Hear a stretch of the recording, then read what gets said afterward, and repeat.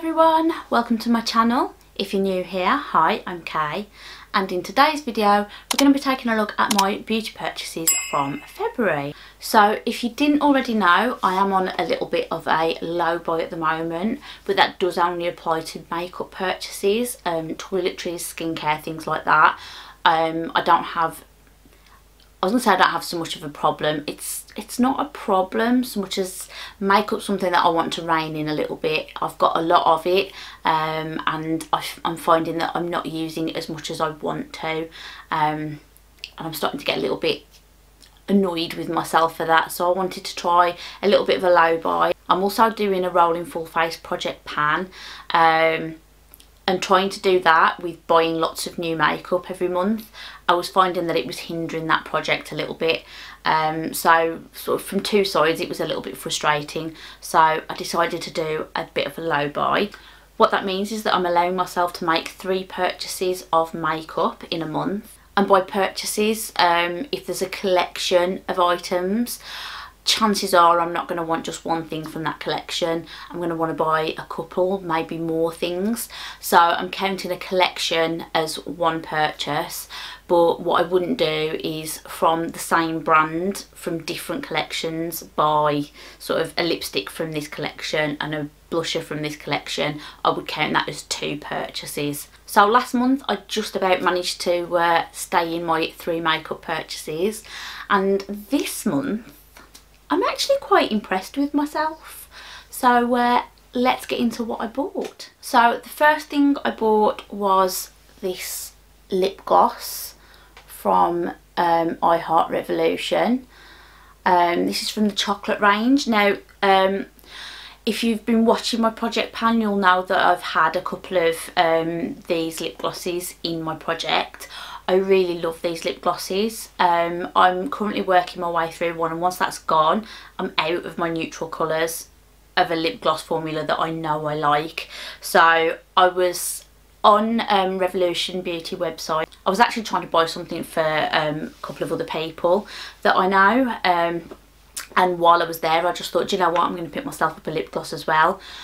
Paid for it, ordered it, and then thought, oh no, oh that counts as a purchase oh no I really hope there's nothing um, super exciting that I want for the rest of the month. And fortunately there wasn't. Um, but yeah I, I did feel a bit annoyed with myself for blowing a purchase on a lip gloss. But it was something that I wanted um, and it's it's something that well it's something that I liked in the old packaging but I noticed that they've updated the packaging so I'm hoping they haven't updated the formula. I guess I'll find out. Um, this one is in the fragrance flavour. I never know what to call it when it's in a, a lip product. Um, but this is chocolate orange, which I like chocolate orange. I like to eat chocolate orange. I'm not advocating eating lip gloss, but um, I'll be honest, the smell isn't um, quite as nice as I hoped it would be. It's quite a lot of fake citrus and not a lot of chocolate which is unfortunate. Um, but it's still quite pleasant. I'll still get some enjoyment out of it. I haven't actually tried the lip gloss yet so I can't speak to how it sits on the lips or anything at the moment. But um, it's quite pretty colour. It's like a peachy sort of colour. It's like a peachy pinky sort of colour. So um, looking forward to trying that and then the final makeup product that I bought before I get onto skincare, I did buy some skincare things this month as well. Um, but makeup wise, this was the last purchase that I made, but it is two products.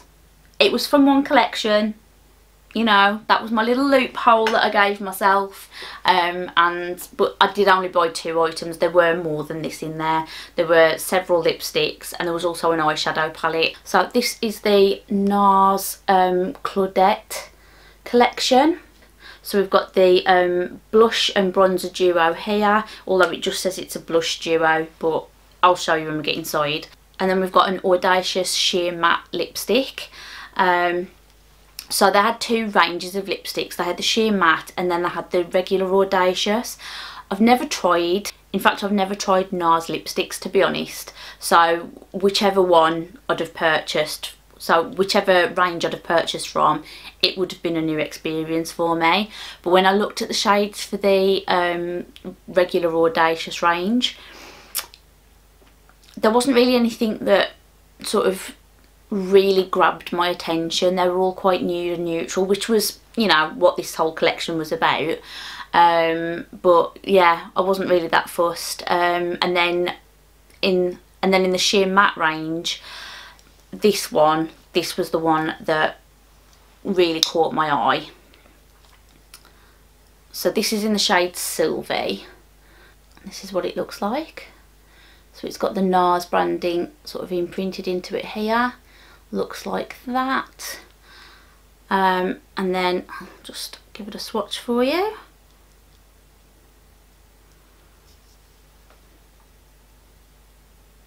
So you can see it's a very pretty colour but it is quite sheer. There's enough to give you a colour on the lips and I have actually worn this, I've tried it. I really like it. It's quite comfortable on the lips. It does dry down and it's a little bit drier than some of the other matte formulas that I do enjoy. Um, so it's probably not my favourite feeling um, but it wasn't totally uncomfortable to wear. The colour was just beautiful. I, I really love the colour. Um, and the packaging, just look at that packaging. How beautiful is that? It's so pretty and it's a magnetic closure as well, which I like. And then this was the actual thing that I went on to buy. This was what I definitely wanted. Um, and this is the blush duo, um, but it does actually have a bronzer in here. So that is what that looks like. I've already um, dinged it. I dropped the lipstick in it while I was trying to take a photo for Instagram because I'm clumsy and that stuff just happens to me. Um, so the blush is in the shade Croisette and the bronze is in the shade Ninotchka. I've tried it a couple of times and it, it just looks really pretty, really nice. I tried to resist this. I really wasn't going to buy either of these. Um, when I first saw that these were being released, they were released in the US first, of course. Um, and I, I took one look at the packaging and I'm a sucker for packaging, we all know this. But I said to myself, no, I'm not going to buy it just for the packaging. I might not like the items inside, so I'm not going to buy something just for the packaging. Um, I've tried a NARS blusher, Orgasm, obviously. Um, it's what everybody tries, I'm sure. Um, but that that blusher, it's nice, but it's got a bit of a sheen to it, and I typically don't gravitate towards those kinds of, of formulas. Um, and I assumed that that's what this might be. Um, so I just wasn't going to bother. And then I watched Mel Thompson do a video on these. And I, I watched it, but I don't think I paid too much attention to it because I remember thinking, oh, that's really pretty, but still thinking, it's not for me. And then when it launched on Cult Beauty, which is where I bought these from, by the way, um, I read the description for them and the blush shade read as a matte peach blush. And as soon as I saw the words matte and peach together I went oh no because peach blush is my current weakness. I'm kind of obsessed with peach blusher at the moment. So as soon as I saw that I, I sort of realised that my plan of not buying these was um, probably not going to work very well and that the bronzer was also a matte um, shade and I can't, I can't, remember what that was described as but I remember thinking oh that's not going to I don't think that's going to be too heavy or dark. Maybe that might be worth a try. And as soon as that thought entered my head I was on Cult Beauty and I was ordering it. And then I thought well if I'm getting that I might as well look at the lipsticks. Um, and that was when I found Sylvie. I did look at the eyeshadow palette but it was very sort of brown natural sort of shades and it's not me. So it wasn't I didn't feel like it was worth me spending my money on it. So I was very good and I only bought the two products that I was um, really keen on. So very happy with them. Um, obviously I need to try them out a little bit more before I can give some proper thoughts and opinions on them. But first impressions, I like them. As I said with the lipstick, I'm not I'm not 100% sure I like it, but it seems like it's it seems like it's okay. It might be something that I can I can work with. Um, and the blusher bronzer, I'm I'm just keen to try and get some more use out of that um, and use it a little bit more regularly. But we'll see how that works with my project pan. We'll see. And then on to more skincare based things that I bought. So I bought this from Molton Brown. This is the Bath and Shower Gel in the fragrance Coastal Cypress and Sea Fennel. So I know I mentioned in a couple of empties videos, I finished the Delicious Rhubarb and Rose, um, like deluxe mini of this. Um, really love that scent, love that fragrance so much.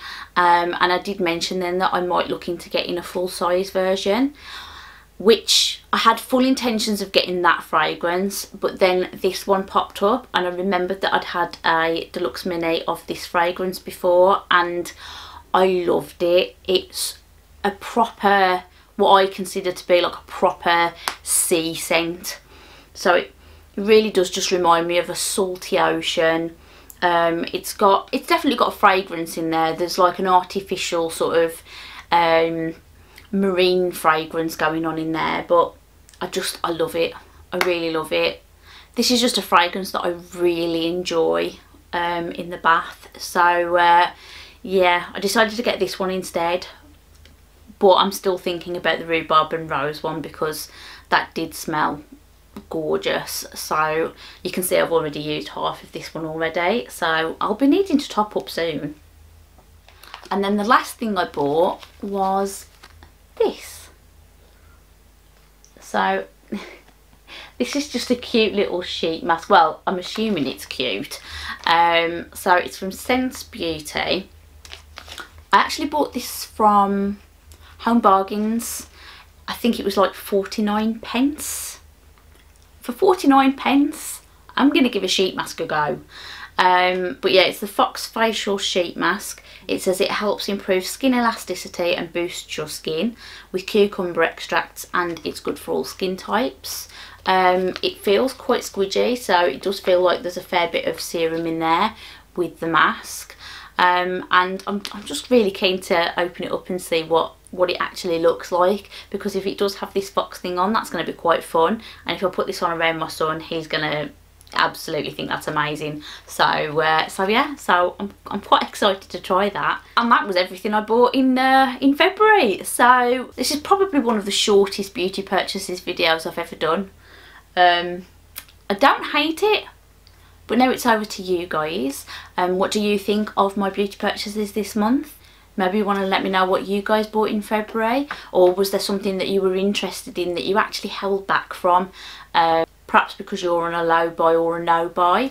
Just let me know in the comments down below. I'm always interested to hear other people's thoughts and opinions.